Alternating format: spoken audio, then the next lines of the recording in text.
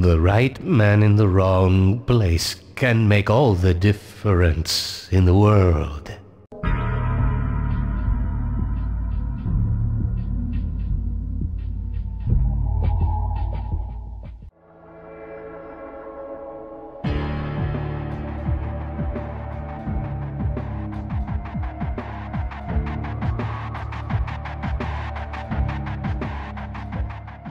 Black Mesa 1950'lerde New Mexico çölüne kurulan Amerikan hükümeti tarafından yönetilen ve fonlanan bir araştırma tesisidir. Black Mesa, roketçilik, teorik fizik, lazer teknolojisi, robotik, hidroelektrik, genetik, zooloji gibi pek çok deneysel alanda araştırma ve deney yapmaktadır. Tesis gizli bir yapılanmadır çölün ortasına inşa edilmiştir. Bu sebeple Black Mesa'da gizli birkaç proje de yürütülmektedir. Bunlar yüksek teknolojili silahların geliştirilmesi, yüksek teknolojili savunma araçlarının geliştirilmesi, aynı zamanda ulaşımı hızlandırmak için ışınlanma yani boyutlar arası madde aktarımı gibi gizli araştırmalar da yapmaktadır. Black Mesa tesisinde bilim personeli, güvenlik personeli, idari personel, servis personeli aynı zamanda küçük bir miktarda askeri personele sahiptir. Tesis çok büyük olduğundan çalışanlar için yaşam yerleri de içermektedir. Ve yine tesisin büyük olmasından dolayı bir yerden başka bir yere tren sistemiyle ulaşım sağlanmaktadır. Tesisteki araştırmalar tehlikeli olduğundan dolayı bilim insanlarını bu tehlikeye karşı eğitmek için bir tehlike kursu da içermektedir. Ayrıca bilim insanlarının güvenliği için tehlikeli ortam giysisi yani Hazardous Environment Suite yani kısacası HEV sistemi de tasarlanmıştır. Welcome to the HEV Mark IV Protective System for use in hazardous environment conditions. Tesis çalışanlarından bazıları Half-Life serisi boyunca tanıdığımız karakterlerdir. Bunlardan bazıları Eli Vance, Isaac Kleiner, Aaron Magnuson gibi ikinci oyundan tanıdığımız karakterler iken bir kısmı da Half-Life Decay'den tanıdığımız Gina Cross, Colette Green, Dr. Keller ve Dr. Rosenberg'tür. Aynı zamanda Half-Life Blue Shift'ten ve Half-Life 2'den tanıdığımız Barney Calhoun da tesiste güvenlik görevlisi olarak çalışmıştır.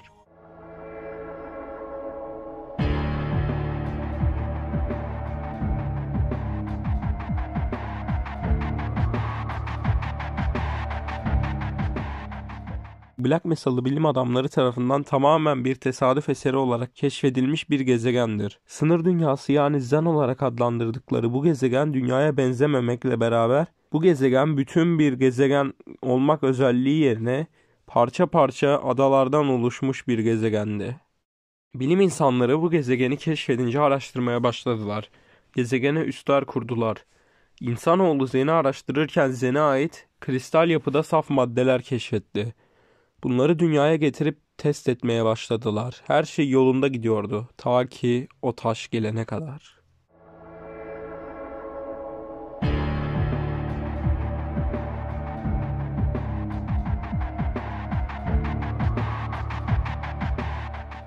Gordon Freeman 27 yaşında Black Mesa araştırma tesisinde bir süredir çalışan 3. seviye bir araştırma görevlisidir.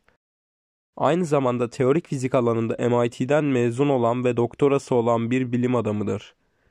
Doktor Isaac Kleiner'ın iş teklifi üzerine Black Mesa'da çalışmaya başlamıştır. Başka bir boyut olan Zen'den getirilen GG 3883 adlı bir saf maddenin incelenmesi için bir deney planlanmıştır. Bu deney için antikütle spektrometresine maddeyi itecek bir bilim adamı aranmaktadır.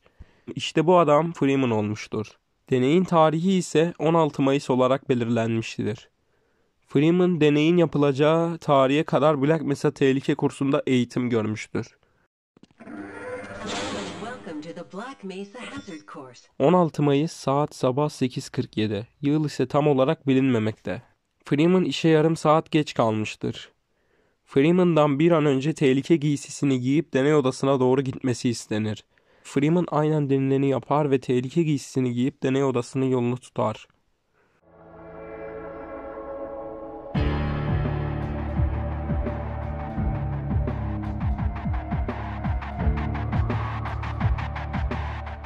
Bu sırada tesisteki sistemlerde arıza olduğunu gören Freeman her şeye rağmen yoluna devam eder. Yol boyunca hatalar artmaktadır. Bir şeyler sanki deneyin ters gideceğini önceden bildirmektedir. Yine de Freeman deney odasına varmış ve artık deneyi başlatma vakti gelmiştir. Yavaş yavaş merdivenleri çıkarak butona basmış, daha sonrasında bilim adamlarının numuneyi ona ulaştırması sonucu yavaş yavaş numuneyi antikütle spektrometresine itmiş ve deney başarısız olmuştur. Bunun sonucunda dünyada pek çok sayıda portal oluşmuştur ve portallardan dünyaya uzaylılar gelmiştir. Bu kazaya Resonance Cascade adı verilmiştir. Türkçe'ye ise rezonans fırtınası olarak çevirebiliriz.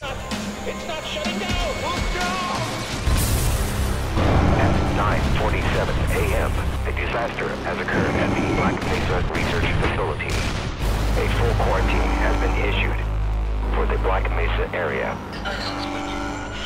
System now under military command. Kaza sonrası gözlerini patlamış bir deney odasında açan Freeman ilk talimatlarını yine patlamadan kurtulan sayılı kişilerden olan Eli Vance'den alır. All the phones are out.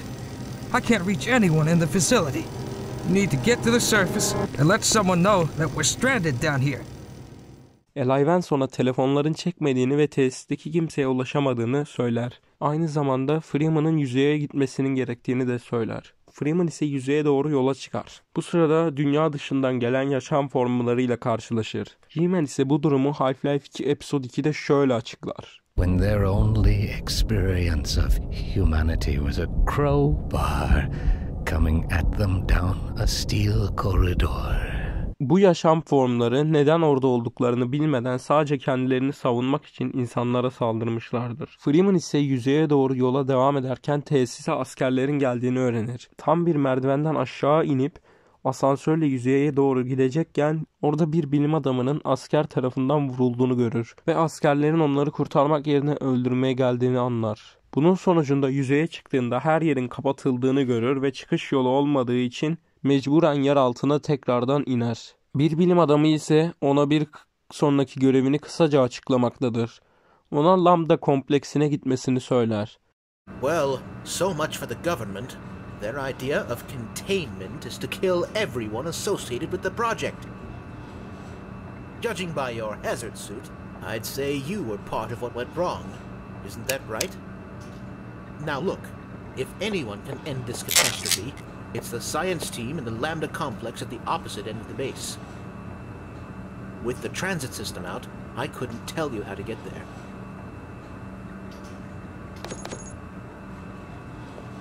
But there's an old decommissioned rail system somewhere through here beyond the silo complex. If you can make it through the rocket test labs, you might be able to worm your way through the old tunnels to track down whatever is left of the Lambda team. You can trust them. You can trust all of us.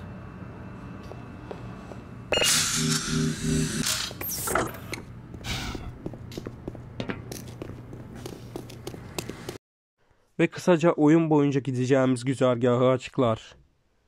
Freeman ise güzergahı aynen takip edip Lambda kompleksine ulaşır. Oradaki bilim adamları ona kazanın sonucu olan portalların diğer boyuttaki bir canlı tarafından açık tutulduğunu söylerler. Freeman'dan bu canlıyı öldürmelerini istemişlerdir. Freeman da bu canlıyı öldürmek için Lambda kompleksinden açılan bir portalla diğer boyuta yani Zen dünyasına gitmiştir.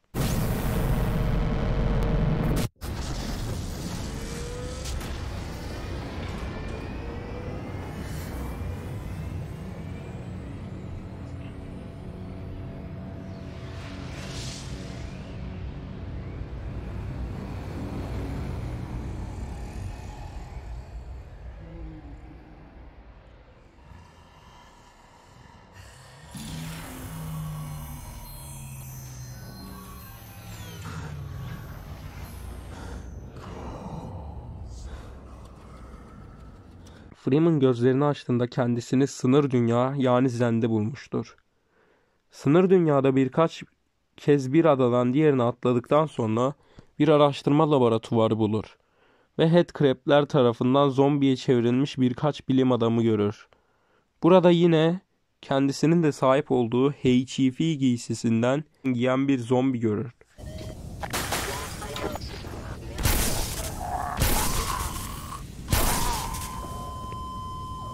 Yola devam eder. Zen'in vahşi ortamıyla biraz cebelleştikten sonra son noktaya gelir ve o yaşam formuyla tanışır. Freeman bu canlıyı öldürür ve bir anda kendisini bir adamın karşısında bulur. Bu adam kendisine bir iş teklifi yapar. Ayrıca kendisi Freeman'la konuşurken sürekli bir yerlere ışınlanıp dururlar. You've proved yourself a decisive man, so I don't expect you'll have any trouble deciding what to do. If you're interested, just step into the portal and I will take that as a yes. Otherwise, well, I can offer you a battle you have no chance of winning. Rather an anticlimax after what you've just survived. Time to choose.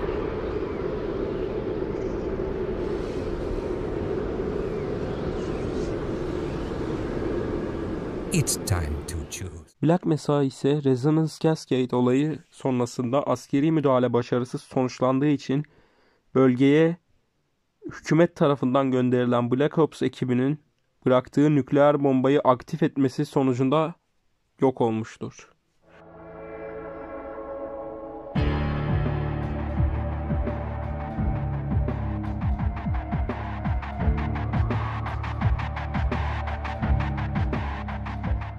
Black Mesa'daki Resonance Cascade isimli olayın ardından ortaya çıkan portal fırtınaları tüm dünyaya yayılmıştır.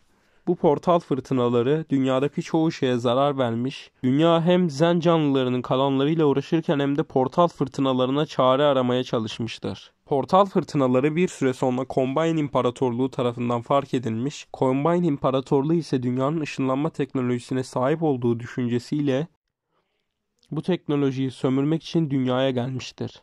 Dünya hükümetleri ise küresel seferberlik ile Combine'a savaş açmışlardır. Fakat Combine'ların üstün teknolojisi yüzünden dünya 7 saatte yenilmiştir. İnsanlar teslim olmuş, bazıları kendi isteğiyle Combine tarafına kat- katılmış. Combine'ın aleyhine işler yapanlar ise Stalker ismi verilen yaratıklara çevrilmiştir. Savaş sonrası Black Mesa'nın yok olmadan önceki son yöneticisi olan Dr. Wallace Breen ve insanlığın yok olmasının önüne geçmiştir. Combine ile iletişime geçen Dr. Wallace Breen onların ışınlanma teknolojisi için geldiklerini anlamış, onlara Black Mesa'dan bahsetmiştir. Bu sayede Combine'lar kalan insanları bağışlamışlardır fakat o teknolojiden de vazgeçmemişlerdir ve o teknolojinin kendilerine verilmesi için insanlığa süre vermişlerdir. Savaştan sağ çıkan şehirler şehir 1, şehir 2 diye sırayla adlandırılmıştır. 17. şehir dünyanın başkenti seçilmiş ve ortasına Citadel isimli devasa bir gökdelen inşa edilmiştir. Welcome. Welcome to City 17. You have chosen or been chosen to relocate to one of our finest remaining urban centers. I thought so much of City 17 that I elected to establish my administration here. Yıllar sonra gizemli adam Freeman'ı beklemeden çıkarmıştır. Freeman gözlerini bir trende açmıştır. Wake up and smell the ashes. Freeman trenden indiğinde ise kendisini o- şehir 17 tren istasyonunda bulur. İnsanların köleleştirildiğini görür. Black Mesa'daki güvenlik görevlisi olan Barney Calhoun tarafından kurtarılır. Ve yine eskiden Black Mesa'da beraber çalıştığı Isaac Kleiner'ın yanına gitmesi gerektiğini öğrenir. About that beer I owed you. It's me, Gordon, Barney from Black Mesa. Hey, sorry for the scare. I had to put on a show for the cameras. I've been working undercover with civil protection. I can't take too long or they'll get suspicious. I'm way behind on my beating quota. Yes, Barney, what is it? I'm in the middle of a critical test. Sorry, Doc, but look who's here. Great Scott! Gordon Freeman! I expected more warning. Yeah, you and me both, Doc. He was about to board the express to Nova Prospect. Alex is around here somewhere. She would have a better idea how to get him here. Okay, Gordon. You're gonna have to make your own way to Dr. Kleiner's lab. Isaac Kleiner'ın laboratuvarına doğru yola çıkan Freeman, yolda birkaç kombine tarafından sıkıştırılır. Onların içinden Freeman'ı Eli Vance'in kızı Alex Vance kurtarır.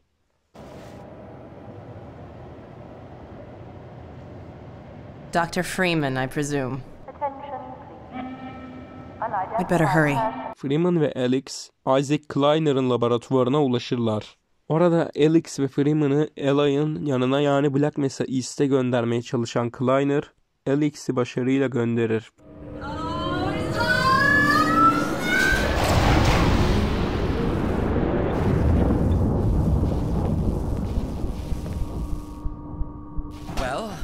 Did it work?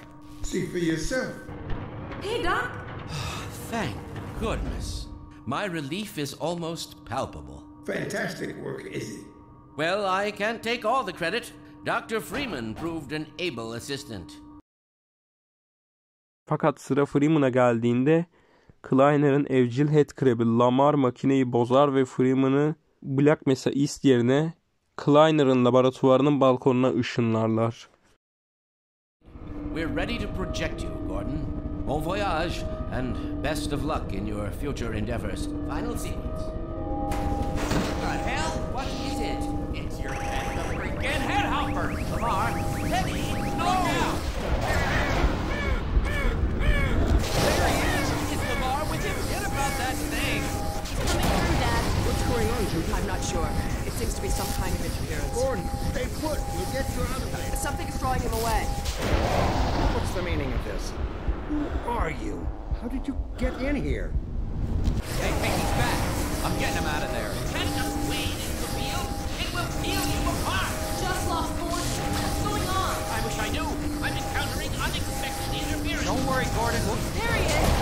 Oh, we're losing it again. The man I saw. I'm all but certain it was Gordon Freeman.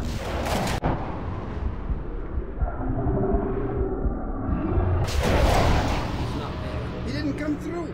Then where is he? Behind you. Daha sonra Barney ona Black Mesa East'e gitmesi için eski kanalları kullanmasını söyler. Hey, Gordon! The Citadel's on full alert. I've never seen it lit up like that. Get out of City 17 as fast as you can, Gordon. Take the old canals, right? They'll get you to Eli's lab. It's, it's a dangerous route, but there's a whole network of refugees, and they'll help you if they can. I'd come with you, but I gotta look after Dr. Kleiner. Oh, and before I forget, I think you dropped this back in Black Mesa. Good luck out there, buddy. You're gonna need it. Freeman yola çıkar. Kanal yolundan sonra Black Mesa East'e varır.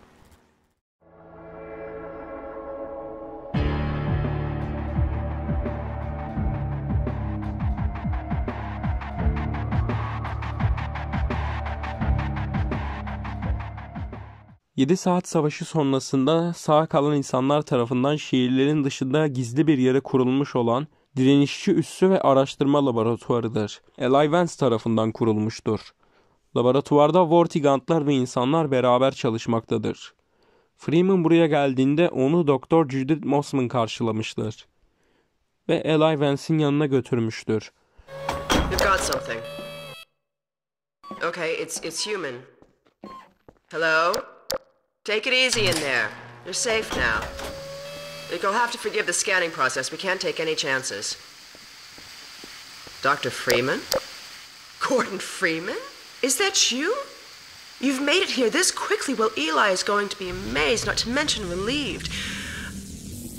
I'm Dr. Mossman, Dr. Judith Mossman. I've been hearing about you since long before the Black Mesa incident. Oh, Black Mesa. I do so envy you working with Eli and Dr. Kleiner when they are at the top of their field. Ah, there we go. You can come through now. Eli, look who I found in the airlock. Gordon Freeman. Let me get a look at you, man. My God, you haven't changed one iota. How do you do it? Now, let's see. The last time I saw you, I sent you up for help after the resonance cascade. Bir süre konuşmadan sonra Alex ve Freeman hurdalığa gitmişler. Burada Freeman yer çekimi silahını ilk kez denemiştir. So, here we are. The scrapyard. This is a gravity gun my father was talking about. You can call it the zero point energy field manipulator if you really want to.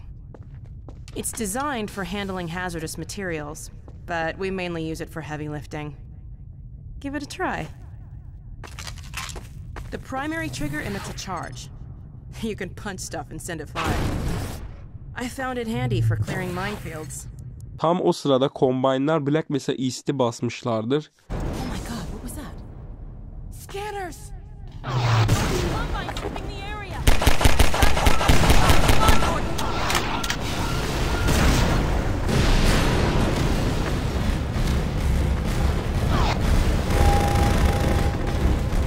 Alex Dog'a Freeman'ın Raven olma gitmesi gerektiğini söylemiştir. Dog ise Freeman'ı Raven olma götürmüştür. Dog,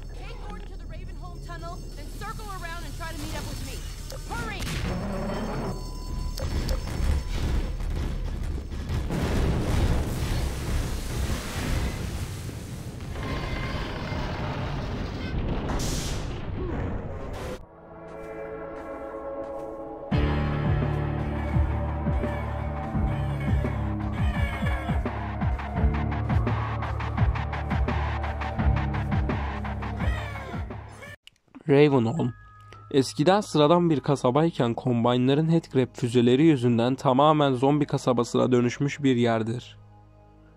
Peder Grigori dışında hiç kimsenin yaşamadığı bu şehirde birçok zombi türü ve Headcrab türü bulunmaktadır. Şehirde yaşayan tek insan olmasına rağmen adeta zombilere diz çöktüren Peder Grigori, zombiler için cemaatim ifadesini kullanmaktadır. Kurduğu tuzaklarla ve zombileri, zombilerle savaşma stiliyle adeta zombilere diz çöktürmüştür. What? Who is this? Another life to save? I'll keep my eye on you. More than that, I cannot promise.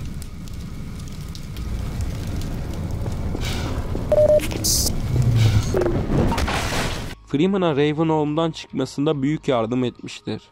Aynı zamanda pompalı tüfeği Freeman'a vererek ona bir silah kazandırmıştır. Freeman Ravenholm'dan çıkmaya çalışırken bölgede yeni headcrab türleriyle karşılaşmıştır. Bu headcrab türleri Combine'lar tarafından mutasyona uğratılmış headcrab'lerdir.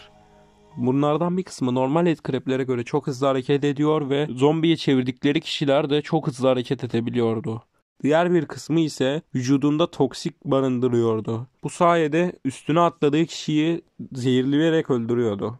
Freeman'ın HIV suiti olduğu için Freeman'ın üzerine atladığında bu headcrab'ler Freeman'ın bir canı kalıyordu. O oyunda öyleydi. Çünkü HIV suit anında panzehir salgılıyordu ve bu sayede Freeman ölmüyordu. Warning. Levels detect Warning. Vital signs critical. Emergency. User dead imminent. Seek medical attention. Freeman Ravenholm'dan ayrıldıktan sonra kendisini deniz kıyısında uzun bir otoyolda bulur. Bu yol boyunca hareket eder, kombaynlarla savaşır ve garip yaratıklar olan Antline'larla tanışır. Aynı zamanda otoyol boyunca kombaynların kurduğu titreşim makinalarını görür. Bu makineler toprağa vurarak Antline'ları o bölgeden uzak tutmak için kurulmuştur. Bir Antline gardiyanı yok ettikten sonra bir Vortigant tarafından kendisine Antline gardiyanın vücudundan bir parça verilir. Freeman bu sayede Antline'ları kontrol edebilir hale gelir ve Eli Vance'in esir tutulduğu Nova Prospect'e doğru yola çıkar. Combine'lar tarafından inşa edilen bir hapishane olan Nova Prospect hem hapishane hem combine, hem hapishane amacı görmektedir hem de Combine'ların kendilerine hizmet etmeyen insanları Stalker'lara dönüştürdüğü bir yerdir. Ayrıca bu yapı Combine'ların evren içi ışınlanmasına olanak sunan tek makinayı içermektedir. Freeman buraya geldiğinde biraz çile çektikten sonra içeri girer, Alex ile beraber Eli Vance'i ararlar. Fakat o sırada Doktor Judith Mossman'ın kombaynlarla çalıştığını öğrenirler.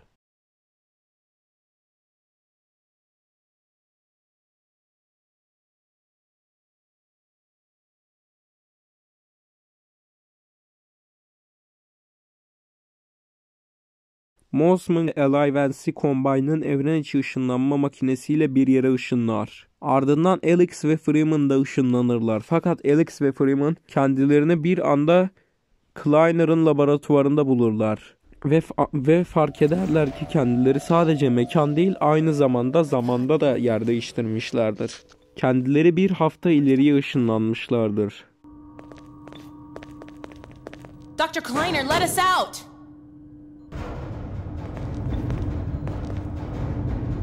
Alex? Gordon? My god, how did you get here? And when? What's wrong? My dear, I I had given up hope of ever seeing you again. I was afraid we might not make it either. I think the teleport exploded just as we were porting out. Indeed, it did. And the repercussions were felt far and wide, but that was over a week ago. What do you mean? Gordon and I were just there a minute ago. Fascinating. We seem to have developed a very slow teleport. This suggests an entirely new line of investigation.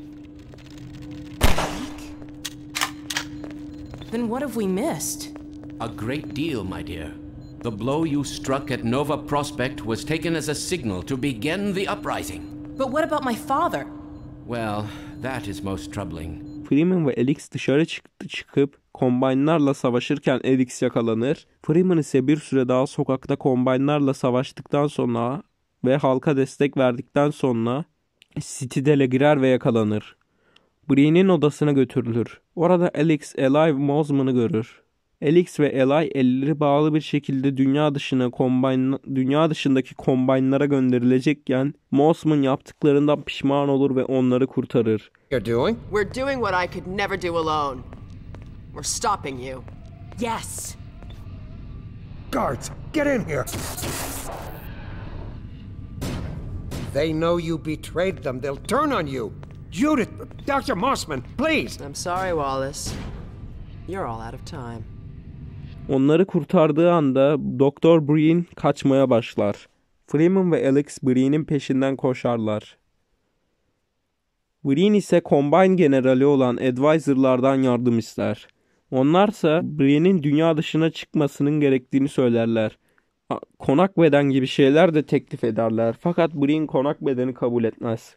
Breen tam dünyadan ayrılacakken Freeman portalı açan yere enerji topları atar ve bu yüzden portalı açan makine patlar.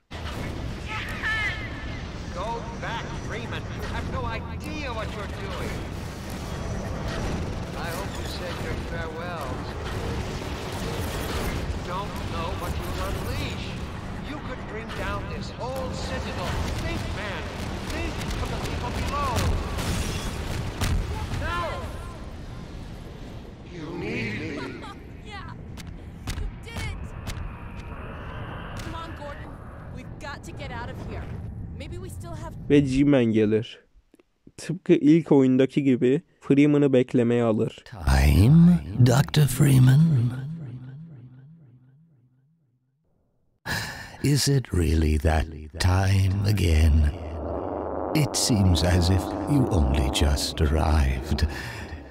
You've done a great deal in a small time span. You've done so well, in fact, that I've received some interesting offers for your services. Ordinarily, I wouldn't contemplate them, but these are extraordinary times. hmm? Rather than offer you the illusion of free choice, I will take the liberty of choosing for you. If and when your time comes round again. I do apologize for what must seem to you an arbitrary imposition, Dr. Freeman.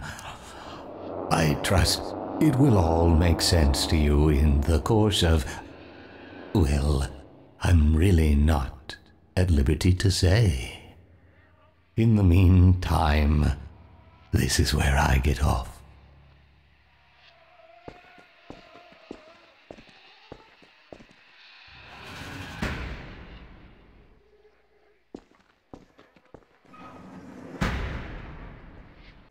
Bu videomda Half-Life 1 ve Half-Life 2'deki olayları, mekanları anlatmaya çalıştım. Bu videoda Half-Life 2 Episode 1, Episode 2 ve Half-Life Alyx dahil değildi. Çünkü ben onları çok az oynadığım için hikayeleri, hakkın, hikayeleri hakkında tam bir bilgiye sahip değilim.